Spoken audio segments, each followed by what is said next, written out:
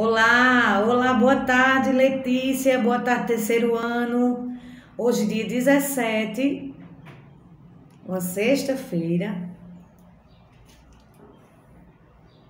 17 de, no... de setembro de 2021. Eu sou a professora Sandra Lano, nós vamos começar mais uma aula de geografia hoje, sexta-feira, tá? Então, para dar início à nossa aula, nós vamos fazer a nossa oração. Boa tarde, Papai do Céu. A aula vai começar.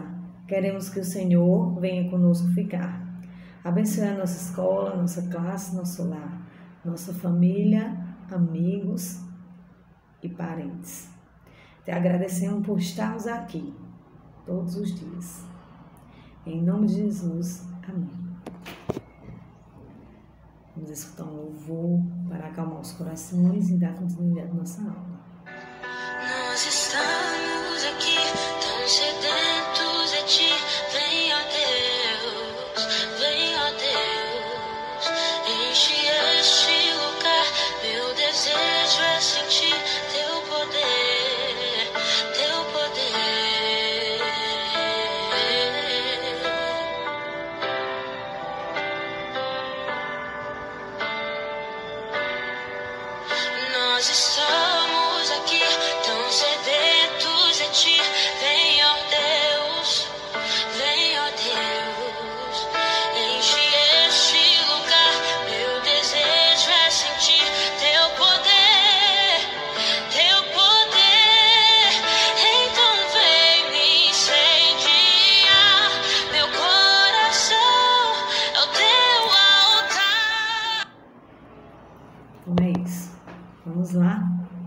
E a gente vai continuar estudando sobre a poluição, né? que, falamos, que falamos lá em ciência, sobre a poluição, que é a poluição das águas, do ambiente, que a separação do lixo traz benefícios para nós. Né? Através da separação do lixo, nós podemos viver e conseguir vários, várias coisas boas, né?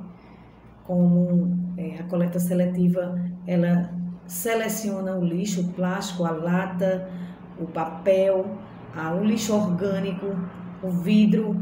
Então, essa, com essa coleta seletiva traz benefícios para nós, porque lá os seletores de lixo, de lixo vai poder dar a destinação correta ao nosso lixo produzido, né? O lixo doméstico, o lixo industrial, o lixo, lixo hospitalar.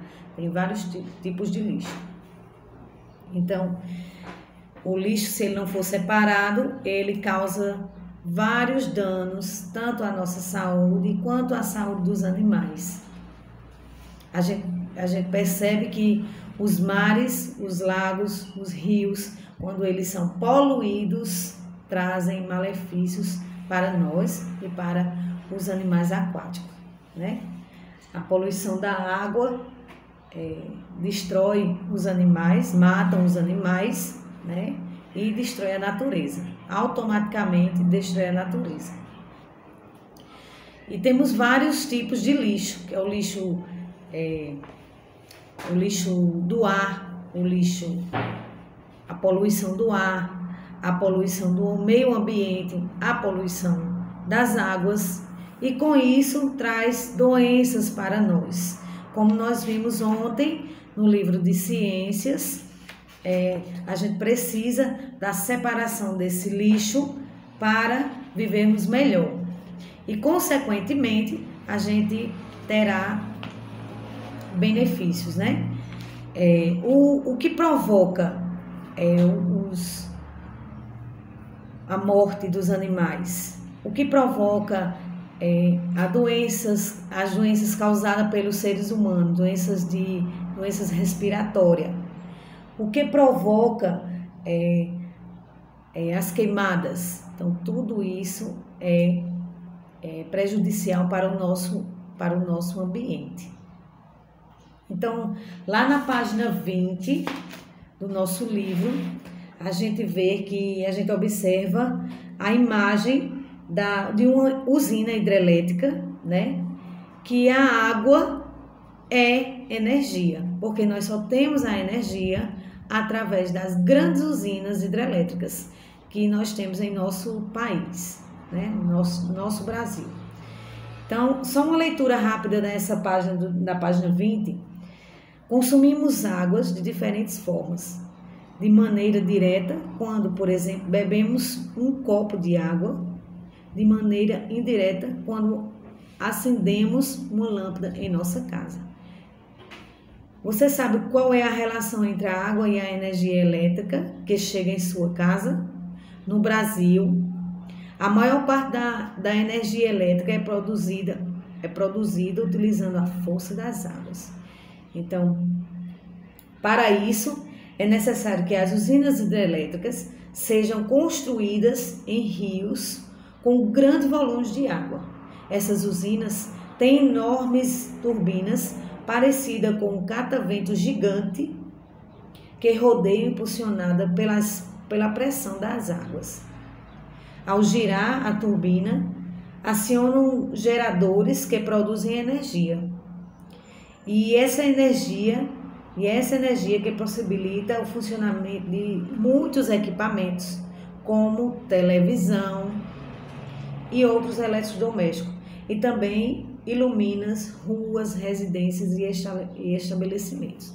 Então, através da água, nós temos vários benefícios, né? Por isso que nós devemos é, cuidar do nosso ambiente, inclusive da água, porque é dela que nós precisamos para sobreviver. E também tem o saneamento básico. No saneamento básico, você, você sabe de onde vem a água que utilizamos nas atividades diárias. Então, ela vem das usinas, passa por um tratamento de captação né, de água e nesse, nesse tratamento ela é trazida para a nossa residência. E quando a gente usa, essa água vai para os esgotos, né? Então eles vai ser tratado para outros consumos. Tanto no, na nossa casa quanto na agricultura também podemos usar esta água no abastecimento da nossa água para é, é, a captação da nossa a captação vem para a nossa casa, né? água tratada e automaticamente a gente usa essa água e ela vai para o esgoto e vai fazer outro tratamento que pode ser usada em agricultura também.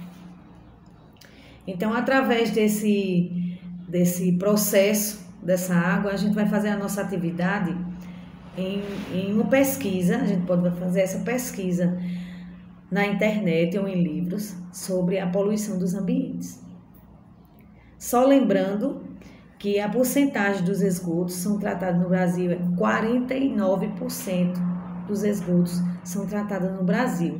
Então isso é muito pouco, muito pouco é, esgotos tratados, porque o Brasil é muito grande, né? Então a gente tem menos de 50% de esgoto tratado no nosso Brasil. Tem muita gente ainda que não tem saneamento básico, que a água não é tratada, que se alimenta dessa, dessa água de rios ainda sem ser tratada para fazer as comidas e muitas vezes também para beber. Então tem muita gente ainda que não tem água na torneira em nossa casa como nós temos.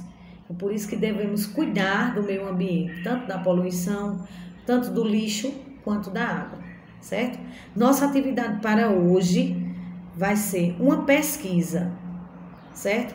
Então, no número 1, um, a gente vai pesquisar quais os malefícios que as queimadas trazem para o ambiente.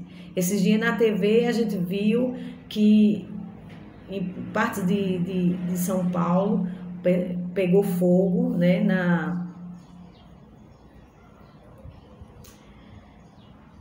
na, na mata, então isso causou vários, vários danos à saúde dos animais e à saúde dos seres humanos.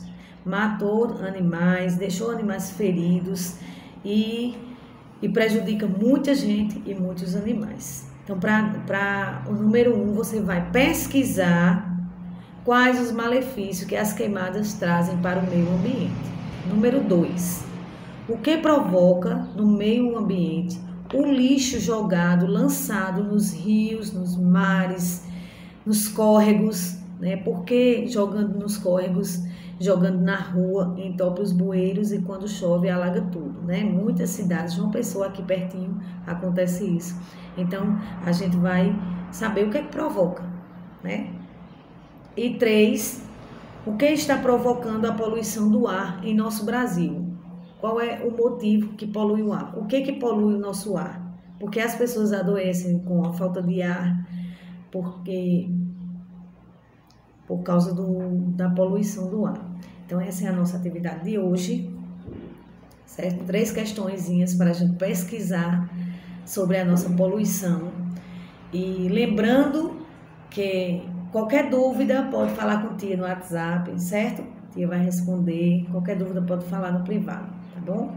Beijos, fiquem com Deus e até segunda-feira.